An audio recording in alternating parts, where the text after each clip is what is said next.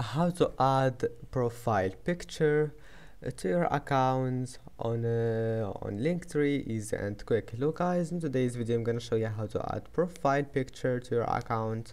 First open Linktree.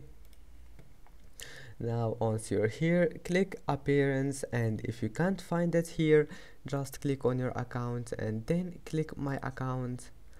And scroll all the way down and here we'll find it. Click on it and uh, that's it now just click pick an image and uh, you can design it and you can upload it. And that's it then just uh, upload any photo you want here. And that's it then just click save. And then upload